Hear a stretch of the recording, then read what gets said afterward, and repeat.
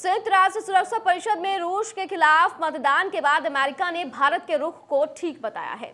America ने यह भी कहा कि भारत रूस के संबंध हमारे जैसे नहीं है। भारत हमारा भी मित्र है।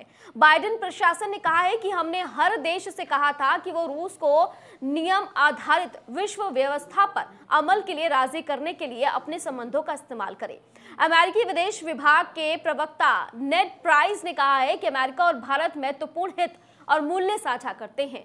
हम जानते हैं कि भारत के रूस के साथ अलग रिश्ते हैं और ये वैसे नहीं है जैसे कि रूस के साथ हमारे हैं। निश्चित रूप से ये उचित है। वॉशिंगटन में अपनी नियमित प्रेस कॉन्फ्रेंस में ये बात कही गई है।